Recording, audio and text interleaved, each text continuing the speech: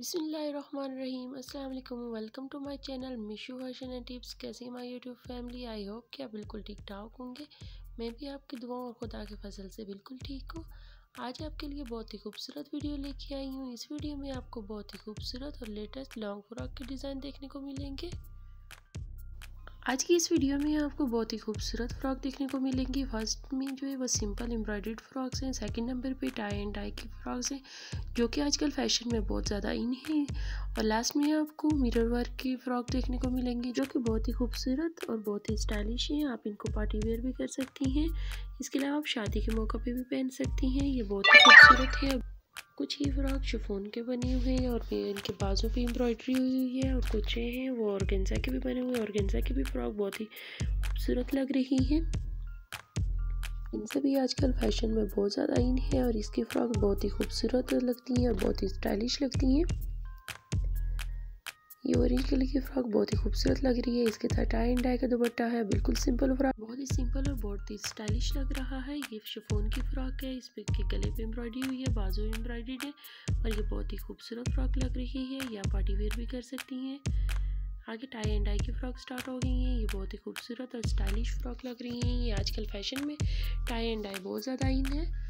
तो उम्मीद करती हूँ ये सब आपको बहुत पसंद आएँगे। मेरी आज की इस वीडियो में आपको बहुत ही अच्छे अच्छे आइडियाज़ मिलेंगे, बहुत अच्छे अच्छे कलर कम्बिनेशन देखने को मिलेंगे, बहुत अच्छे और स्टाइलिश फ्रॉक देखने को मिलेंगे। तो प्लीज़ मेरी वीडियो को स्किप मत करें और एंड तक ज़रूर देखें। उम्मीद करती हूँ आपको आज की वीडियो बहुत पसंद आएगा।